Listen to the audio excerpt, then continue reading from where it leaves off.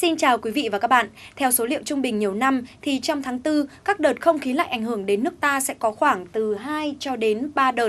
Năm nay, nếu tính cả đợt không khí lạnh vào ngày mai thì miền Bắc đã chịu tác động của 4 đợt không khí lạnh và ở mức nhiều hơn trung bình hàng năm. Các đợt không khí lạnh trong tháng 4 năm nay thường có cường độ từ trung bình cho đến mạnh. Cụ thể, hiện tại, khối không khí lạnh đã báo vẫn đang tiếp tục di chuyển xuống phía Nam. Vào khoảng gần sáng và ngày mai thì bộ phận không khí lạnh này sẽ ảnh hưởng đến các tỉnh miền Bắc của nước ta. Và do ảnh hưởng của không khí lạnh nén dãy áp thấp, từ đêm nay ở Bắc Bộ có mưa rào và rông. Trong cơn rông khả năng cao xảy ra tố lốc xoáy, mưa đá và gió giật mạnh. Cấp độ rủi ro thiên tai ở mức cấp 1. Từ ngày 27 tháng 4, gió trong đất liền chuyển hướng Đông Bắc mạnh cấp 2 cho đến cấp 3, còn vùng ven biển từ cấp 3 đến cấp 4. Về tình hình nhiệt độ thì nhiệt độ sẽ giảm dần. Từ chiều và đêm mai 27 tháng 4, các tỉnh miền Bắc trời chuyển lạnh, vùng núi chuyển rét. Nhiệt độ thấp nhất ở vùng đồng bằng phổ biến trong khoảng từ 20 cho đến 22 độ, còn vùng núi là từ 17 đến 20 độ. Với các tỉnh miền Trung, do ảnh hưởng của không khí lạnh nén và đẩy dịch rãnh áp thấp xuống phía Nam, cho nên ngày mai ở các tỉnh Thanh Hóa, Nghệ An và Hà Tĩnh trời chuyển nhiều mây, có mưa rào và rông. Từ chiều mai 27 tháng 4, vùng mưa sẽ lan xuống các tỉnh từ Quảng Bình trở vào cho đến Quảng Ngãi và trong cơn rông cần đề phòng với tố lốc và gió giật gây nguy hiểm. Về nhiệt độ thì cũng có xu hướng giảm nhanh, nhiệt độ cao nhất ngày mai ở Bắc Trung Bộ chỉ dao động từ 25 cho đến 27 độ. Còn các tỉnh Trung Trung Bộ do tác động muộn hơn cho nên nhiệt độ vẫn ở mức 28 cho đến 31 độ. Các tỉnh thành còn lại thuộc Nam Trung Bộ, từ Bình Định trở vào cho đến Bình Thuận, không chịu tác động nhiều của khối không khí lạnh phía Bắc.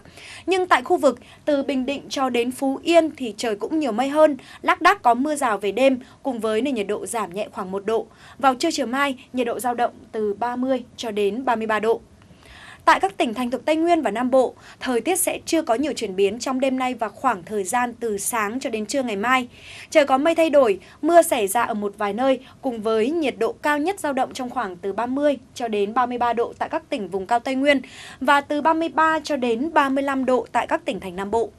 Tuy nhiên, từ chiều tối mai, với quá trình hội tụ mực thấp được thiết lập trở lại, thì ở các tỉnh Tây Nguyên và Nam Bộ sẽ có mưa rào và rải rác có rông. Đặc biệt với ảnh hưởng của điều kiện địa hình, mưa rông sẽ tập trung nhiều tại vùng cao nguyên, các tỉnh như là Con Tum, Gia Lai, Đắk Lắc, Đắk Nông và Lâm Đồng. Trong cơn rông có khả năng cao xảy ra tố lốc, mưa đá và gió giật mạnh. Chuyển sang những thông tin thời tiết trên biển. Do ảnh hưởng của không khí lạnh, từ ngày mai 27 tháng 4, gió Đông Bắc tại khu vực Vịnh Bắc Bộ và khu vực phía đông bắc của Bắc Biển Đông sẽ hoạt động mạnh dần lên mức cấp 6 và giật trên cấp 6, gây sóng cao biển động. Còn các nơi khác bao gồm cả hai huyện đảo Hoàng Sa và Trường Sa thì gió có cường độ trung bình, thời tiết cũng ít mưa nên ít ảnh hưởng đến các hoạt động lưu thông của tàu thuyền trên biển. Thưa quý vị và các bạn, thời tiết trên phạm vi cả nước đều có những chuyển biến đáng kể trong 24 giờ tới.